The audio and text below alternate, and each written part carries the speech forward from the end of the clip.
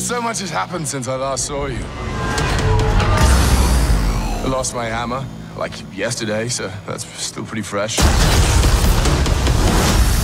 And then I went on a journey of self-discovery.